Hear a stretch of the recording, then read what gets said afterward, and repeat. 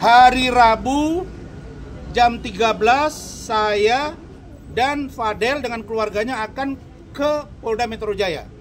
Agendanya apa? Nanti saya info hari Selasa besok.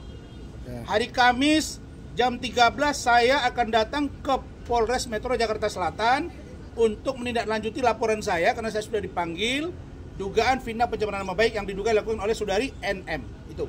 Itu agenda saya.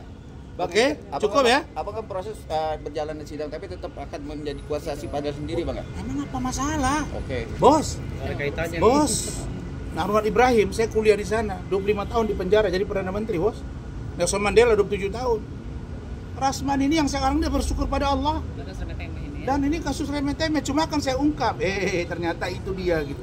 Baru merembet ke mana-mana. Saya terima kasih buat Pak Kajari dan jajarannya, Pak Jaksa Agung dan jajarannya, Aspidum, Pak Kajati DKI, Aspidum DKI, terima kasih. Bang, berarti Kamis itu pemeriksaan kedua ya itunya ya, Bang? Hari Kamis. Hari Kamis saya datang Ke Polres. memenuhi panggilan penyidik Polres untuk menindaklanjuti laporan saya sebagai pelapor terhadap saudari NM Oh, bukan. yang yang jeruk lemon ngomong-ngomong. Nah, hari Rabu jam 1 juga jam 13 saya dengan Fadel tim hukum dan keluarga akan ke Propam Oh. Polda Metro. Terkait apa? Surat kami. Berarti bukan Dan kemarin saya sudah terima jam 5 sore surat dari Kompolnas terkait laporan kami perihal penanganan Fadel.